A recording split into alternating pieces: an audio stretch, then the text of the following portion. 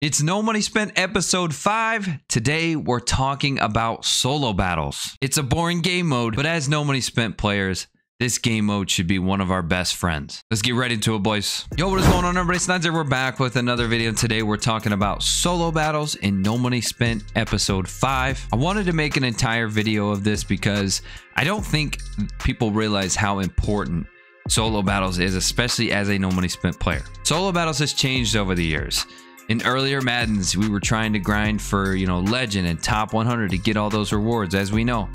That is a thing of the past. Unfortunately, we just we aren't doing that anymore. We can't even score in legend to get 40,000 coins.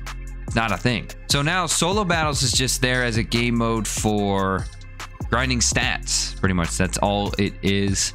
If we take a look in all the field passes, there is literally zero reason to play above the rookie difficulty. Nothing. In, in years past, you'd play on Legend to get a higher score, but score now does not matter. The only thing that matters is stats. So before we get into this, if you guys are new around here, be sure to subscribe to the channel and throw a like on the video. Also, Underdog Fantasy right here. Make sure you guys check out the app. We've got NFL season coming up here very, very soon. The best way to support the channel is to use code SNODS at checkout. It will match your first deposit up to $100. Let's get into it, boys. If you're looking to build that coin stack and get the best team in MUT, be sure to check out MMOEXP.com. Build those coins, build your squad.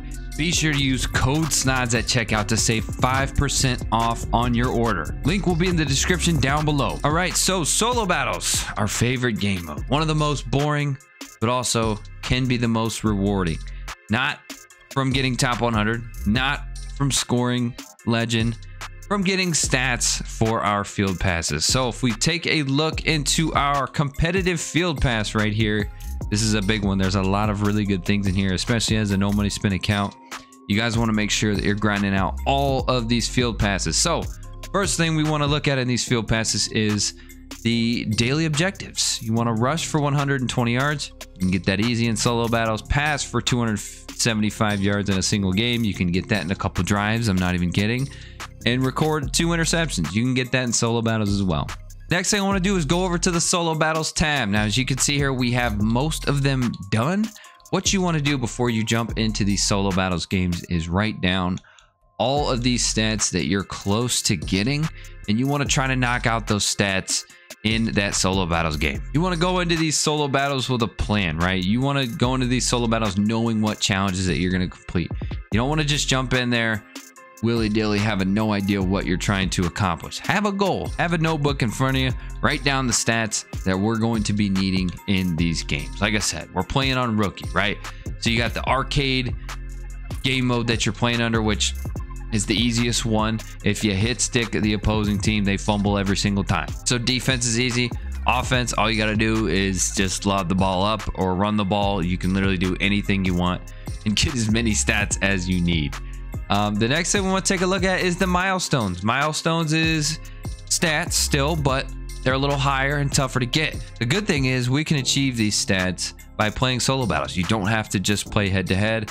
Head to head does count towards this, but you can also do it in solo battles. Get these stats a little faster. I haven't completed much. I've only done two of them so far, but as you can see here, we're making great progress on all of these. That was just the competitive field pass. So Solo battle stats can carry over to other field passes as well as we get a level up right there.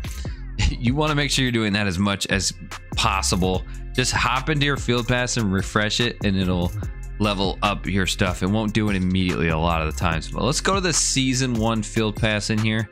There's also solo battle stuff in here too, believe it or not. There's also daily stuff in here too. You got to make sure you're checking both of them. They both have their own daily objective. So score 10 points, record two sacks, and score eight touchdowns. It's very easy to do when you're playing solo battles. In here, it's a little different. The stat grind is a little longer, but again, all of this that you're seeing right here can be obtainable in solo battles as well. So again, take your notebook out, write down the stats that you need, go into solo battles for a reason. Also, I completed all the stats that we need in the team captain's field pass as well. These were all done in solo battles. Uh, again, you have to make sure you're writing down the stats that you need.